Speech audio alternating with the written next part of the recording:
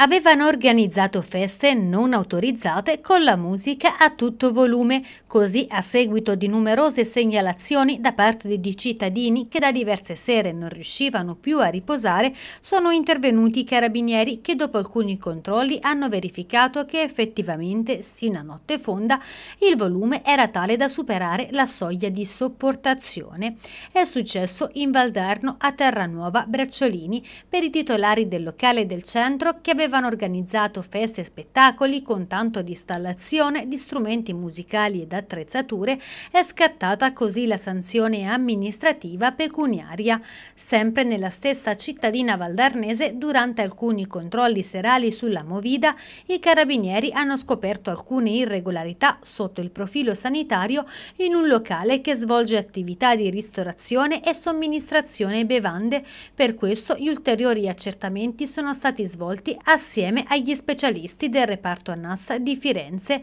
sono state riscontrate alcune carenze come il mancato aggiornamento della revisione degli estintori ed alcune irregolarità nella registrazione della temperatura dei frigoriferi. È quindi scattata la sospensione dell'attività con chiusura dell'esercizio sino al ripristino delle condizioni di idoneità sanitaria.